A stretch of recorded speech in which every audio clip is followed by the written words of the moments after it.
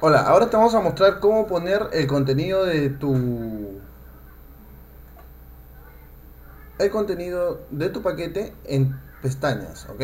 Un paquete puede estar todo de corrido, que es lo ideal porque es más fácil para ustedes, que ustedes puedan subirlo de, de esa manera, o en pestañas, ¿no? En pestañas como está aquí.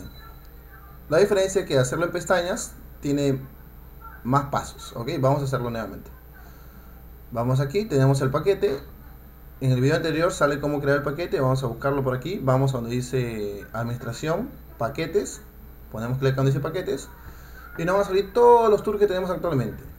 ¿Ok?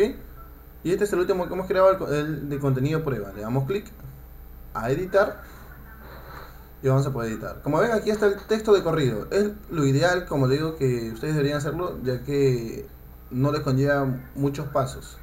Es más fácil de usar. Pero si desean, también pueden hacerlo en pestañas.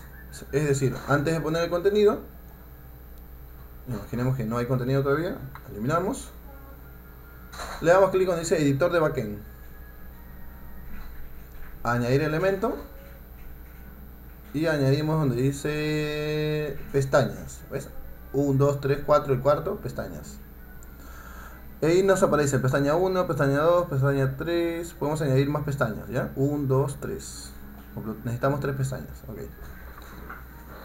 En la primera pestaña añadimos bloque de texto. Y en el bloque de texto ponemos, por ejemplo, descripción del tour. Guardamos. Pasamos a la segunda pestaña. Ahí, por ejemplo, vamos a poner el itinerario. Igual, bloque de texto pegamos. Y en la tercera pestaña, igual, en la flechita más, bloque de texto, que incluye, ¿no? Por ejemplo. Entonces ya tenemos pestaña 1, pestaña 2, pestaña 3.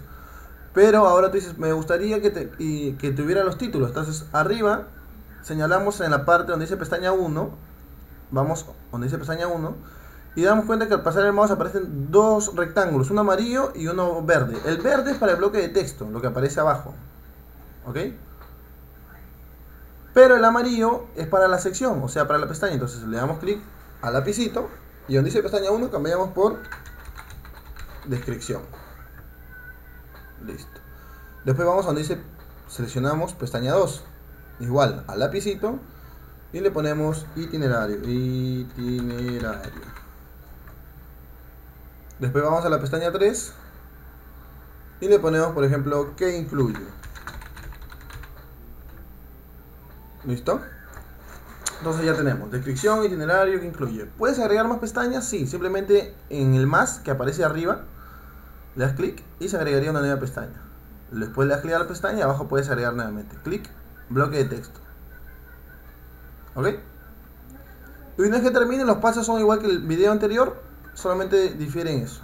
Y le das a actualizar, nada más. Listo, eso sería todo. Le das a guardar, actualizar y listo. Así estaría en pestañas. Pestaña 1, pestaña 2, pestaña 3.